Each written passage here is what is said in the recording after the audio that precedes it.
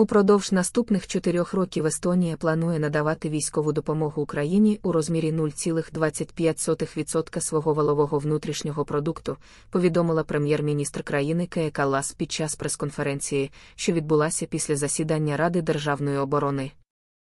Естонський внесок у перемогу України становитиме 0,25% валовий внутрішній продукт упродовж наступних чотирьох років. Якщо кожна країна внесе подібний внесок, це буде важливим вкладом в перемогу України в цьому конфлікті, зауважила вона. Каллас закликала інші країни приєднатися до естонської ініціативи та висловила переконання, що такі об'єднані зусилля важливі для підтримки України в умовах воєнного конфлікту.